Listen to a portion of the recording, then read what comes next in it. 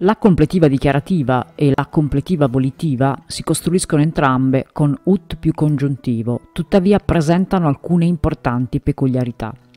Rivediamo due momenti del video di Cesare e la minaccia degli Elvezi. Evenit ut de adventu tuo in provinciam Elvezi ed octi sint ut de adventu tuo in provinciam Elvezi ed octi sint è, come abbiamo visto, una subordinata completiva dichiarativa. Perché? Perché dichiara, cioè rende esplicita, rende chiaro l'evento implicito nella forma evenit e eh, accade, succede.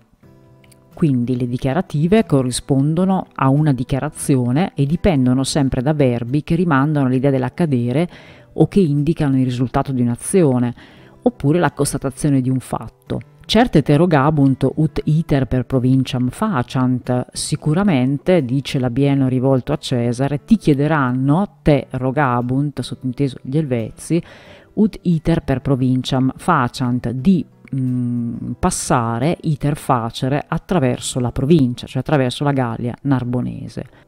Ut iter per provinciam faciant è una completiva volitiva perché dipende da un verbo rogo che significa chiedere. Infatti le volitive esprimono una volontà, un'esortazione, una richiesta, una preghiera o un comando e, di, e, dipendono da verbi riconducibili a questi ambiti di significato, oro, monio, impero, rogo e usano la negazione ne che appartiene all'ambito della volontà.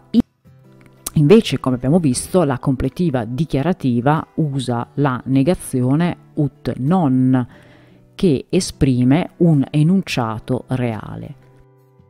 Quindi un criterio per distinguere la dichiarativa dalla volitiva è prestare molta attenzione alle espressioni e al significato delle forme verbali da cui queste subordinate dipendono.